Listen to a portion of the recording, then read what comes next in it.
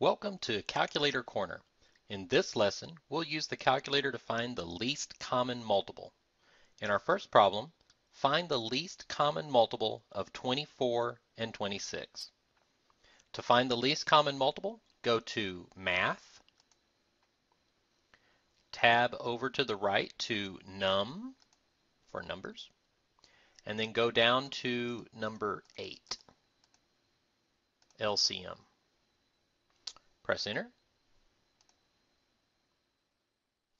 Next, type in the two numbers uh, separated by a comma. So 24, comma, 26.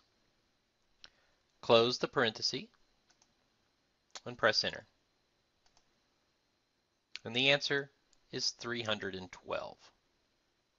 What about the situation where you have more than two numbers and you want to find their least common multiple. Let's look at our next problem. Find the least common multiple of 18, 25, and 30. Again, go to Math,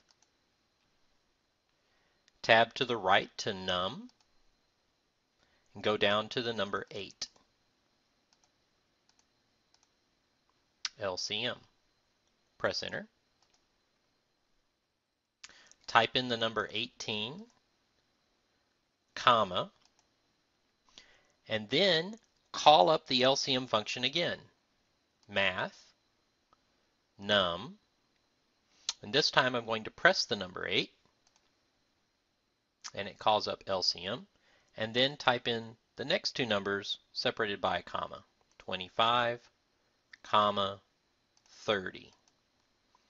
Close the inner parentheses close the outer parentheses, and press enter. And the answer is 450.